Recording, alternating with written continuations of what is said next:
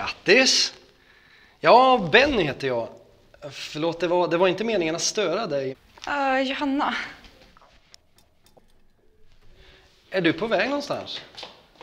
Ja, du ser verkligen snygg ut. Eh, Du vill inte ha lite tårta?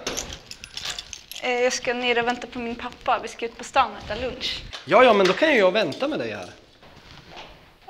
Kan du väl göra? När kommer han, din pappa, egentligen?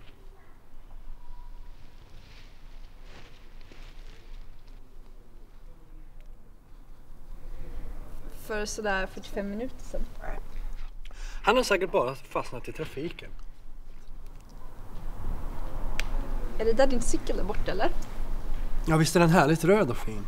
Ja, så får man ju ha den för sig själv också faktiskt. Du vill inte ha lite tårta? Kommer väl ändå aldrig.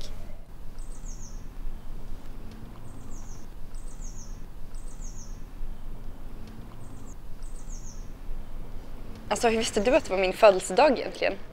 Va? Är det? Grattis! Eh, Men du sa ju grattis till mig när jag öppnade dörren. Ja, det gjorde jag minsann. Mm, Så vadå, du bara cyklar omkring på din Jesuscykel och bjuder folk på tårta utan någon tanke liksom? Tanken är liksom att man ska visa människan kärlek. Och man tar ju liksom vad man har. Och jag hade en cykel. Och en tårta. Jättegod förresten. Men jag har varken tidigare eller genom din tårta känt någon kärlek från någon gud. Ja, jag hade också lite problem med det i början.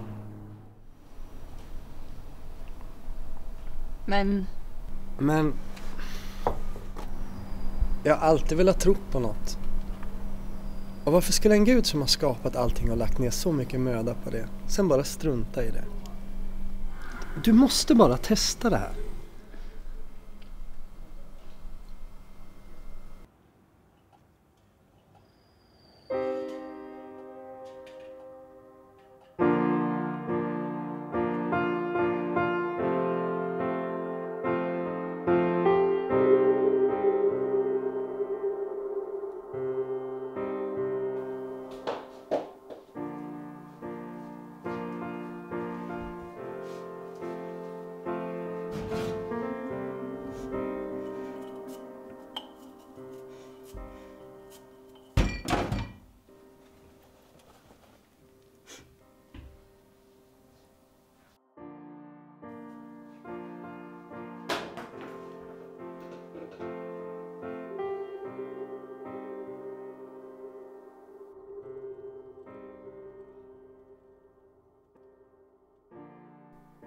Varför skulle en gud som har skapat allting och lagt ner så mycket möda på det, sen bara strunta i det?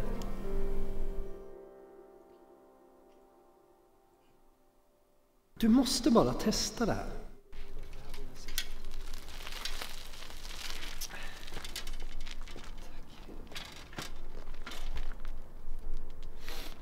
Jesus, möt henne i natt.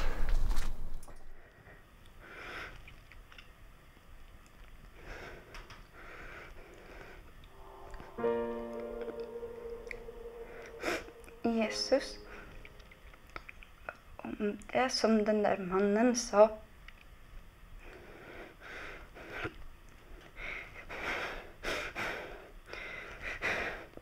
Visa dig för mig.